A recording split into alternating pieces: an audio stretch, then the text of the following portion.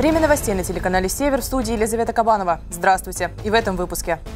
Рост заболеваемости коронавирусом в регионе за прошедшую неделю составил 255% по сравнению с предыдущей. Скорая медицинская помощь работает в усиленном режиме. Новый федеральный законопроект об организации местного самоуправления обсудили в режиме ВКС представители органов государственной власти с главами муниципальных образований. О тех, кто помогает людям. Три года назад, 1 февраля, был создан ресурсный центр добровольчества в Ненецком автономном округе. За прошедшие сутки в регионе выявлен 61 новый случай заболевания COVID-19. В числе заболевших 49 жителей Наринмара и поселка Искателей, трое жителей Оксина. Также зарегистрировано 9 привозных случаев из Архангельска, Москвы и Пскова, сообщает Управление Роспотребнадзора по Ненецкому округу. Как сообщает Департамент здравоохранения, труда и социальной защиты населения Ненецкого округа, сейчас на лечении в стационаре окружной больницы находится 33 пациента с коронавирусной инфекцией. Еще 468 жителей лечатся на дому. В регионе зарегистрировано 90 летальных исходов от коронавируса. На учете в управлении Роспотребнадзора состоит 1286 человек. С начала пандемии в регионе официально зарегистрировано 4040 случаев заболевания COVID-19. Выздоровели 3429 человек. Напомним, что в Ненецком округе действует режим повышенной готовности. Работают посты бедконтроля в аэропорту Наринмара, на посадочных площадках в Нижней Пеше, Оми и Неси. Обязателен масочный режим. Введена система QR-кодов при посещении общественных мест и мероприятий. Действует постановление главного государственного санитарного врача Панау об обязательной вакцинации отдельных категорий граждан по эпидемическим показаниям.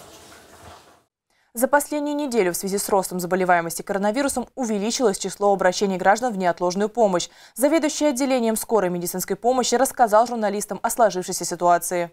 Могу сказать, что за последние 10 дней э, этот показатель увеличился где-то на 50-55%. Больше всего вызовов было за последние три дня. Э, увеличение их было более чем на 70%. Основные поводы к вызову – это повышение температуры, боли в горле, катаральные явления. Заведующий отделением отметил, что большой процент среди заболевших – дети. За последние 10 дней они составили 27% от общего числа обращающихся. При угрозе инфекции работники выезжают на вызов в средствах индивидуальной защиты. Возможность заражения выявляется со слов пациента – контакт по ковиду. На данный момент штат скорой состоит из 22 медицинских работников. Это три круглосуточных бригады. Естественно, задержки могут быть, задержки бывают, но я должен сказать о, том, что э, в случае, если вызывание отложенное, то есть нет угрозы жизни пациентам, то э, допустимо до двух, до двух часов. Вот. Мы в основном укладываемся. Из тех 500 с лишних вызовов э, по экстренным показаниям где-то 200 с небольшим вызовов. Вот. Из них задержка более 20 минут была только у двух. Но опять же необходимо отметить э, высокий профессионализм сотрудников. У всех практически большой опыт работы именно на скорой помощи. Поэтому за счет этого они быстро оценивают тяжесть состояния пациентов, принимают решения – в субъектах Российской Федерации продолжается обсуждение нового федерального законопроекта об общих принципах организации местного самоуправления в единой системе публичной власти, который в первом чтении был принят 25 января Государственной Думой. Заместитель губернатора Ненецкого автономного округа Андрей Блащинский и спикер регионального парламента Александр Лутовинов перед принятием закона во втором чтении провели консультации с главами муниципальных образований в режиме видеоконференц-связи. Законопроектом предусматривается переход на одноуровневую модель местного самоуправления, установление определенного перечня полномочий муниципалитетов. По словам одного из инициаторов проекта, депутата Павла Крашенникова, это будет способствовать устранению путаницы при перераспределении полномочий между органами местного самоуправления и органами государственной власти субъекта Российской Федерации. Кроме того, одноуровневая система организации местного самоуправления позволит создать новую систему организации организации власти на местах, в основе устройства которой будет заложен не территориальный принцип, а принцип привязки к населению. В настоящий момент более полутора тысяч местных полномочий закреплено в разных федеральных законах. Законопроект же прописывает конкретные полномочия органов местного самоуправления, централизует их в одном законе. Таким образом, граждане смогут понять, в каком случае нужно обращаться в муниципалитет за решением вопроса, а в каком случае в регион. Перед принятием в первом чтении законопроект уже обсуждали на местах в том числе в Ненецком округе с участием органов государственной власти, местного самоуправления и общественности. Затем состоялись слушания на федеральном уровне с участием представителей всех субъектов Российской Федерации. Эти публичные слушания были очень представительными. В них принимали участие э, все регионы нашей страны. Там были э, эксперты, разработчики данного законопроекта, ученые. То есть очень было такое квалифицированное обсуждение. И вопросы, которые были э, обсуждены или предложены в проект закона, их было достаточно много. В рамках ВКС с главами муниципалитетов спикер регионального парламента также напомнил о проведенной совместно с администрацией округа работе в регионе. Состоялось несколько встреч, в том числе с приглашением представителей городского округа и Заполярного района, председателя Ассоциации муниципальных образований, представителей фракции в окружном собрании. Запрошены мнения глав. Итогом работы стали отзывы к законопроекту, которые направлены в Государственную Думу. Один из них касается схода граждан в поселение решениях. В законопроекте установлено, что сход правомочен при участии в нем более половины жителей населенного пункта. Так вот, эта норма для нас, она является затруднительной. Э, так, допустим, в деревне Куя зарегистрировано свыше 100 человек, а проживает фактически 29. И это не единичный случай.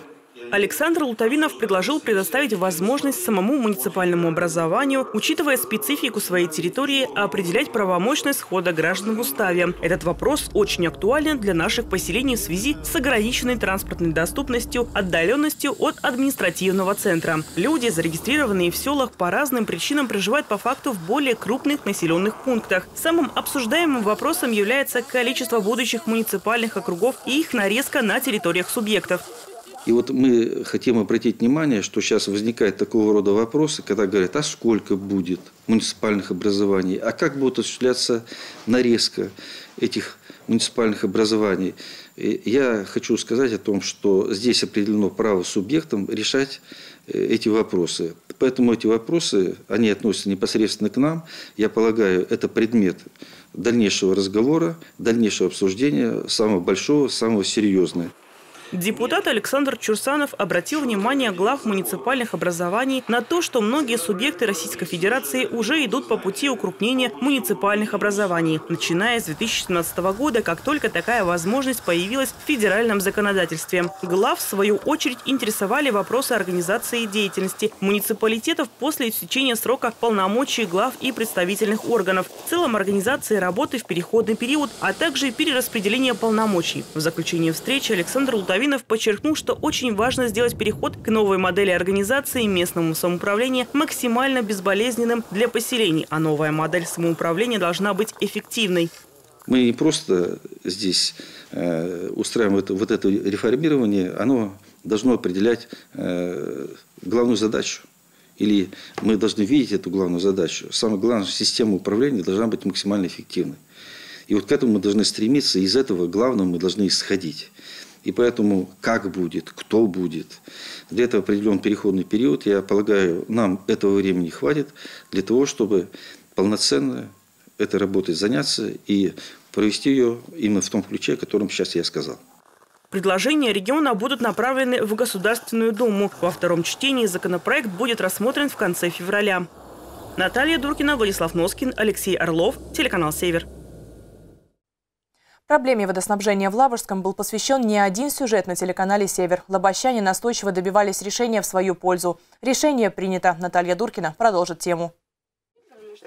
Вопрос с водоснабжением в Лавушском тянется еще с конца 2020 года, когда в деревню завезли емкость, с помощью которой решено было уйти от старой системы подачи водоснабжения. Объяснили так – замерзать не будет, да и на отоплении сэкономить можно, ведь подача будет не через водонапорную башню. Однако зимой жители забили тревогу. Вода оказалась абсолютно непригодна даже для технических нужд. Весь год представители власти и сотрудники управляющей организации «Север Жилкомсервис» ездили в Лабожское, брали пробы, чтобы оценить качество воды. По результатам лабораторных исследований вода то признавалась пригодной, то опять нет. В сентябре 2021 года емкость заменили, но от этого качество воды не улучшилось. В прошлый раз, когда нет. приезжали, говорили, Я что говорю, хорошо, тут жижа он текет. поменяют здесь вот эту, помните, да?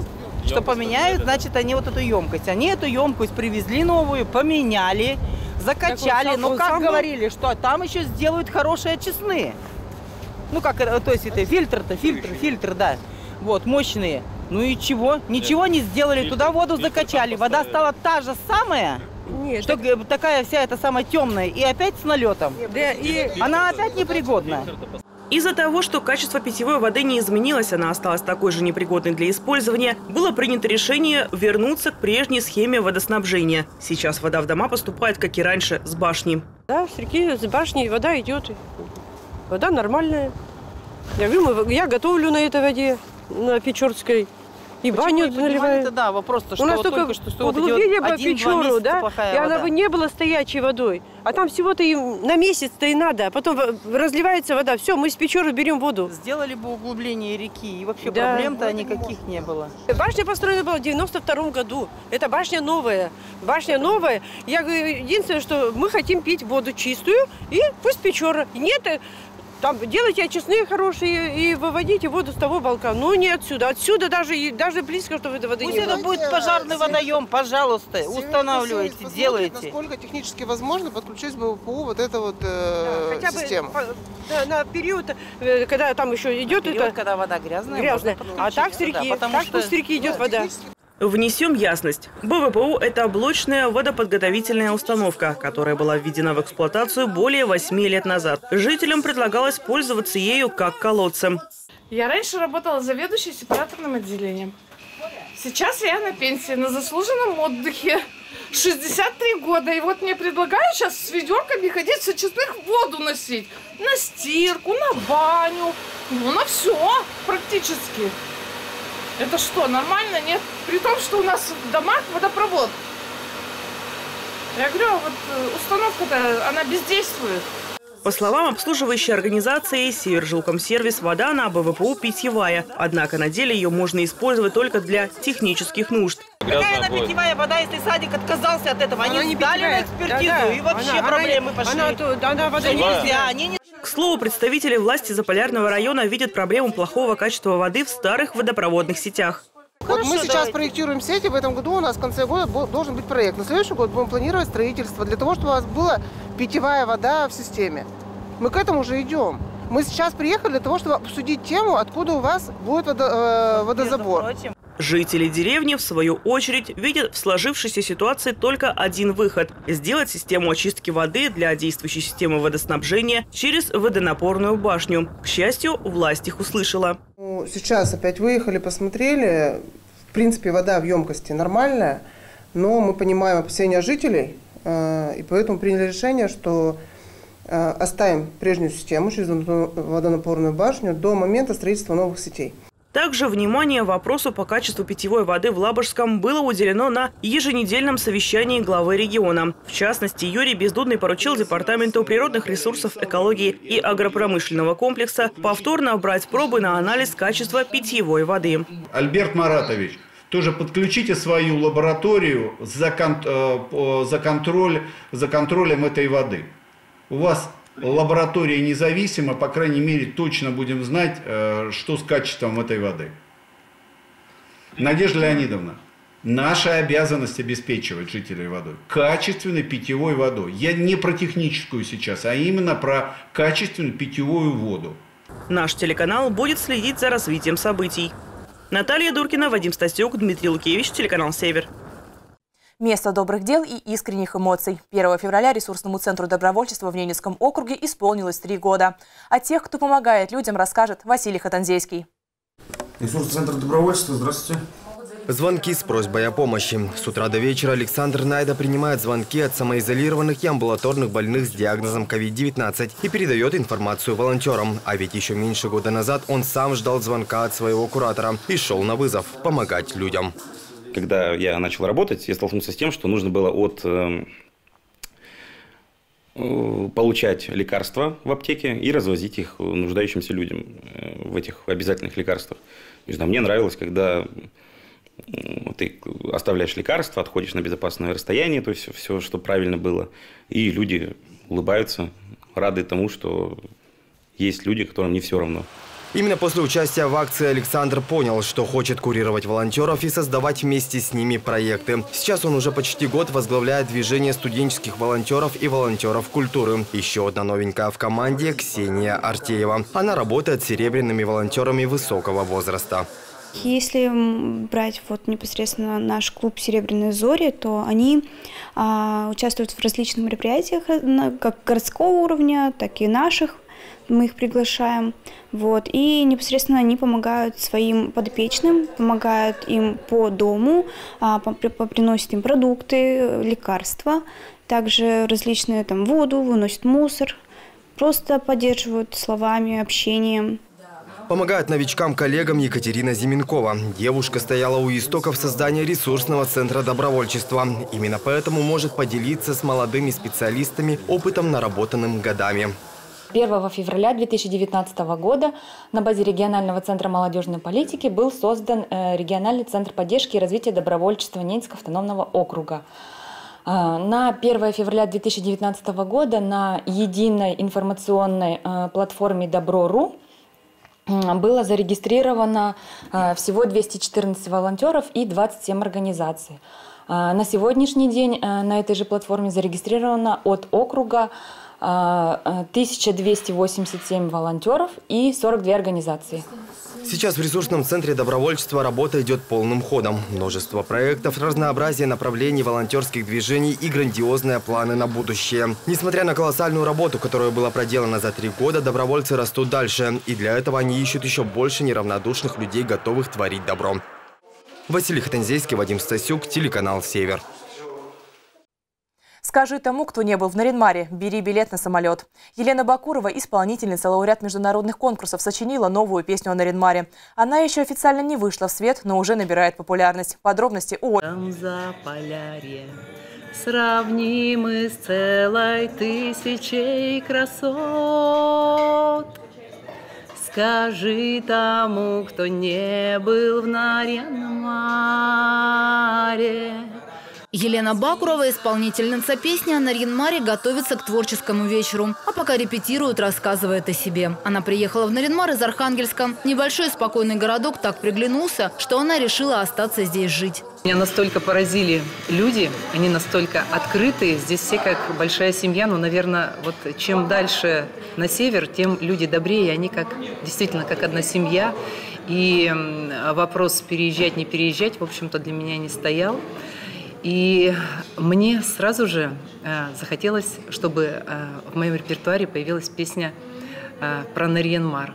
Елена не профессиональная исполнительница. Это одно из ее многочисленных хобби. Кстати, вокалом она занялась только в 39 лет. И надо заметить, вполне успешно. Сначала перепевала песни популярных исполнителей, а потом в репертуаре появились и свои, написанные специально для нее. Сейчас в творческой копилке Елены более 80 песен. Она записала 4 альбома. К выходу готовится пятый. Елена уверена, что здешняя обстановка благоприятствует творчеству. У меня здесь такое какое-то спокойствие, умиротворение. Вот я здесь отдыхаю душой. И э, очень нравятся люди.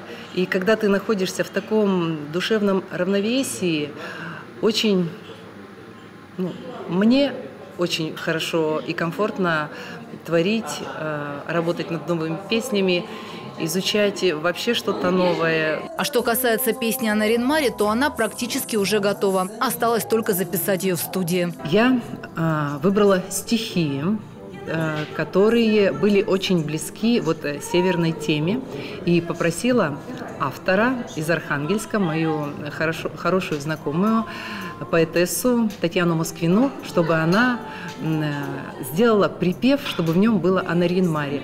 И вот она написала эти стихи, мне тоже очень понравилось.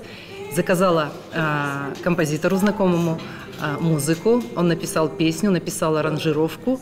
В конце прошлого года Елена приняла участие в проекте «Добрые песни о главном». Сейчас работает еще над тремя проектами, но подробности пока остаются в секрете.